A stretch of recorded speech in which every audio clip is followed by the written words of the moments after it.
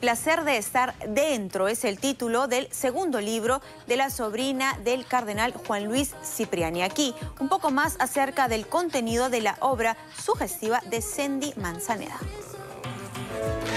Modelo, profesora universitaria, columnista, ejecutiva y escritora. Cindy Manzaneda Cipriani tiene todos los ingredientes para ser definida como triunfadora y polifacética ella, sin prejuicio alguno, vuelve a remecer la literatura nacional con su segundo libro, que lleva el sugestivo título de El placer de estar adentro, que contiene 13 relatos cargados de erotismo y sexualidad que de seguro podrían sonrojar a más de uno en esta Lima conservadora y bastante cucufata. Este libro, el último, es un libro erótico, 100% erótico, basada en historias de hechos reales, de, personajes de, bueno, de la sociedad peruana y que son historias muy potentes, muy fuertes, muy llenas de sexualidad y de sensualidad. Yo creo que este, mi último libro es muy cargado y, y yo diría que definitivamente es literatura erótica, muy puntual.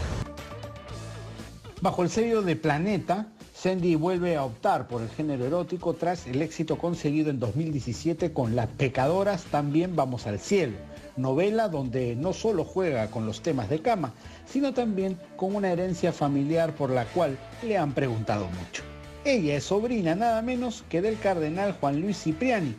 del que no es un misterio su postura conservadora como mujer y obviamente de la familia que vengo, que como les comenté es muy chapada del antiguo, tengo familia militar, religiosa. Eh, entonces ha costado mucho eh, entender que mi literatura es igual que cualquier otro género. La única diferencia es que mi literatura es erótica, así como hay literatura eh, histórica que te puede narrar la historia de la batalla de Ayacucho, yo la literatura erótica te narra otro tipo de batallas, las batallas en la cama, las batallas entre dos personas o tal vez entre más. La verdad, a mí me parece que la literatura erótica hoy por hoy es, una, es un género que debería realmente ser potenciado.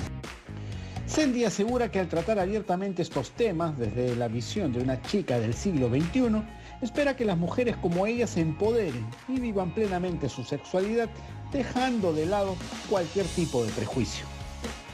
y creo que todos estos años en los cuales de verdad eh, he condensado muchas historias han sido como una olla de cultivo para poder yo eh, en papel y lapicero poder eh, mostrar mi arte por medio de, de la escritura, ¿no?